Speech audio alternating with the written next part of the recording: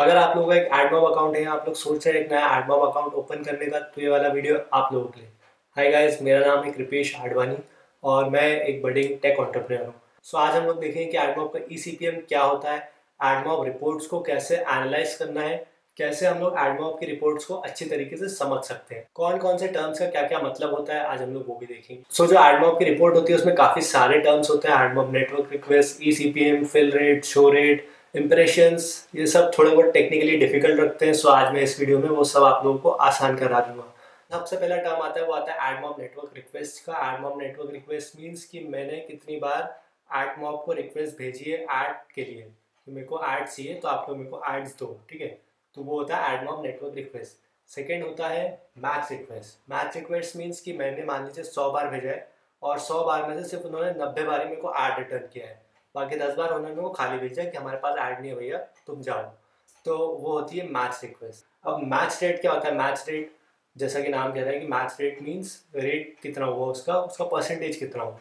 तो मान लीजिए मैंने सौ बार रिक्वेस्ट भेजी नेटवर्क रिक्वेस्ट भेजी, जिसमें से नाइन्टी टाइम्स मेरे को एड्स मिले। अब उस नाइन्टी टाइम्स में से हम लोग कैलकुलेट करेंगे मैच रेट क्या हुआ। Match rate is match request divided by AdMob network request मतलब 90 डिवाइडेड बाय 100 इंटू हंड्रेड तो हमें परसेंटेज मिल जाएगा नाइन्टी परसेंट ठीक है सिंपल है।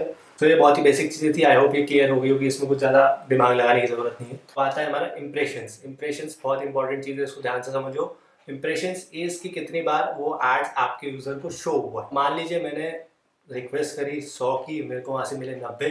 ठीक है, मैंने वो एड्स अपने उसमें डाल दिया, अपने आप में डाल दिया, जैसे मेरे यूज़र ने खोला। अब वो इंप्रेशन मीन्स उसको वो दिखा कि नहीं दिखा। मान लीजिए मेरे को एक इंटरस्टिशियल एड शो करना था, मैंने वो पहले से लोड करके बैकग्राउंड में रख दिया। लेकिन वो मैंने रखा है कि जब वो क्लिक करेगा सेव बटन पर तब वो इंटरस्टिशियल एड शो होगा लेकिन यूज़र ने सेव बटन पर क्लिक नहीं किया, वो एग्जिट करके भाग गया।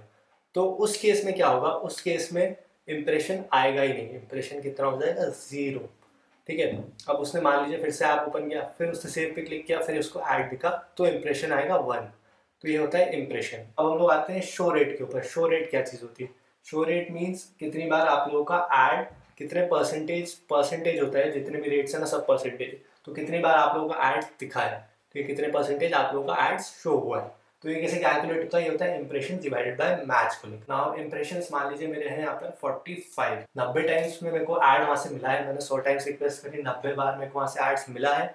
उसमें से 45 टाइम्स ही शो हुआ है। 45 divide by 90 gives us 50 percent तो हमें वहाँ से 50 परसेंट हमारा शो रेट है। अब हम लोग आते हैं नेक्स्ट मोस्ट इंपॉर्टेंट टर्म के ऊपर, वो है क्लिक थ्रू रेट ठीक है क्लिक थ्रू रेट से पहले आता है। क्लिक्स क्लिक्स मीन्स आपके एड्स में कितने क्लिक हुए ये सिंपल है, इसमें कुछ ज़्यादा चीज़ें नहीं है। कितनी बार आपका एड्स पे क्लिक हुआ। बट जो इंपॉर्टेंट टर्म होता है, वो होता है click through rate click through rate means कितनी बार इंप्रेशन आए और कितनी बार आपके एड्स पे क्लिक हुआ। मान लीजिए, अभी हम लोग लेके चल रहे हैं कि हमारे 45 टाइम्स हमारा इंप्रेशन आ रहे हैं। ठीक है बट उसमें जो क्लिक हो रहा है, वो सिर्फ़ पाँच बार हुआ। तो हमारा जो क्लिक थ्रू रेट रहेगा, वो हम लोग कैलकुलेट करते हैं clicks divided by impression that gives us five divided by forty five तो ये इलेवन परसेंट का क्लिक थ्रू रेट हो गया। बट इन रियलिटी इतना नहीं होता है। ठीक है वो अराउंड फाइव या फाइव से कम ही रहता है मेरा तो बहुत ही कम रहता है। तो ये आपको वो चीज़ देखनी पड़ेगी अगर ज़्यादा क्लिक थ्रू रेट है तो इसका मतलब आपके एड्स पे कोई इंटेंशनली क्लिक कर रहा है या फिर आपके इनवैलिड एक्टिविटी होने के चांसेस है एक्सीडेंटल क्लिक्स हो रहे हैं तो आपका क्लिक थ्रू रेट बढ़ जाता है। तो इनवैलिड एक्टिविटी के ऊपर मैं वैसे वीडियो बना चुका हूँ आप लोग चाहे तो उसे आई बटन पे जाके देख सकते हैं। सो so, अपने सी को हमेशा देखते रहो। ठीक है, देखते रहो कि कहीं कोई इनवैलिड क्लिक तो नहीं हो रहा है और या फिर एक्सीडेंटल क्लिक्स तो नहीं हो रहे क्योंकि इसके लिए एडमॉब अकाउंट को सस्पेंड किया जा सकता है। तो ये चीज़ बहुत इंपॉर्टेंट होती है क्लिक थ्रू रेट अब हम लोग आते हैं सबसे ज़्यादा इंपॉर्टेंट टर्म के ऊपर, वो होता है E C P M E C P M को हम लोग इम्प्रेशन आर पी एम भी कहते हैं। हम लोग इसको रेवेन्यू पर थाउज़ेंड इम्प्रेशन भी कहते हैं। तो ये तीन टर्म्स सबका मतलब एक ही होता है, ठीक है? ज़्यादातर लोग उसको ई सी पी एम बोलते हैं, कोई इसको बोलता है रेवेन्यू पर थाउज़ेंड इम्प्रेशन बट आप लोग ध्यान रखो कि वो ई सी पी एम में होता है, ठीक है? तो टेक्निकल टर्म में इधर उधर कर देते हैं बट वो ई सी पी एम में होता है। तो अब ई सी पी एम क्या होता है? ई सी पी एम होता है कि आपको थाउज़ेंड इम्प्रेशन पे कितना रेवेन्यू हुआ, उसको कैलकुलेट करना। तो मान लीजिए थाउज़ेंड बार मेरा इंटरस्टिशियल एड शो हो रहा है किसी को तो उस पर मेरे को कितना रेवेन्यू हो रहा है, वो कैलकुलेट करना है। वो होता है ई सी पी एम और यही एक स्टैंडर्ड होता है जो बहुत सारी मीडिया कंपनीज़ जो होती है, जो ऐसी एडमॉप टाइप की होती है एडमॉप मीडिया नेट ये सारे ई सी पी एम के बेस पर ही कॉम्पीट करते हैं। तो हम लोग अब इसका एग्ज़ाम्पल लेके देखते हैं। मान लीजिए जो मैंने हंड्रेड टाइम्स जो रिक्वेस्ट भेजी थी एडमॉक को, उसमें से मेरे को नाइन्टी टाइम्स में मैच मिला है। उसमें से सिर्फ़ इंप्रेशन जो मेरे आए हैं, वो अराउंड फोर्टी फाइव के इंप्रेशन आए हैं, ठीक है? फोर्टी फाइव इम्प्रेशन है मेरे। और मेरा जो रेवेन्यू हुआ है, उससे हम लोग मान के चलते हैं पॉइंट फिफ्टीन डॉलर्स हुआ है। तो हम लोग ई सी पी एम कैसे कैलकुलेट करेंगे? Estimated earnings divided by number of request into thousand estimated earnings point fifteen dollars upon number of request forty five into thousand तो हमारा ई सी पी एम हो गया three point three three dollars का।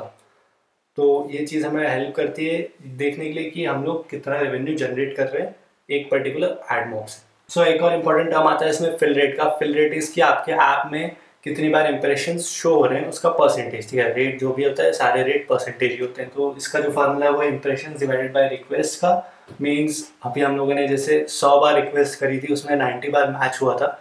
तो इसको हम लोग भी फ़िलहाल छोड़ देते हैं। लेकिन जो हमने सौ बार रिक्वेस्ट करी थी उसमें से फोर्टी फाइव ही इंप्रेशन हुए थे। तो हमारा जो फिल रेट हुआ वो हुआ फोर्टी फाइव परसेंट का। so, ये बेसिक टर्म था ठीक है बट इंपॉर्टेंट जो होता है वो होता है सीटीआर होता है वो आपका ई e होता है।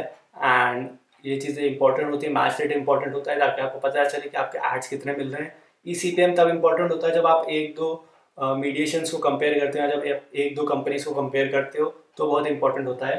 और ये सारी रिपोर्ट्स आप लोगों को तब बहुत इंपॉर्टेंट रखेगी जब आप लोग के मल्टीपल ऐप्स हो जाएँगे। मल्टीपल ऐप्स मीन्स कि आप लोग इन तीन चार ऐप्स बनाती हैं अब किस ऐप्स पे कॉन्सेंट्रेट करें ज़्यादा? कौन सा ऐप आपको ज़्यादा रेवेन्यू देगा? सो so, आप लोग को हेल्प करेगा ई सी पी एम जब आप लोग देखेंगे अपने एडमॉब अकाउंट में उस ऐप का जाकर तो वो आप लोगों को चीज़ हेल्प करेगी कि हाँ यार इससे रेवेन्यू मेरे को ज़्यादा आ रहा है यहाँ से ई सी पी एम ज़्यादा आ रहा है तो जब यहाँ की ऑडियंस ग्रो होगी तो फिर मेरे को यहाँ से ऐप से मनी भी ज़्यादा जनरेट होगी एडमॉब के थ्रू सो so, उन चीज़ों में बहुत इंपॉर्टेंट फैक्टर रहता है। सो so, आज की वीडियो के लिए बस इतना ही। आई होप आप लोगों को ये वीडियो अच्छा लगा हो। कुछ वैल्यू गेन करने को मिली हो तो उसको थम्सअप दे दीजिएगा। चैनल को सब्सक्राइब कर लीजिएगा और हम लोग मिलेंगे अगली वीडियो में। So until next time goodbye and keep learning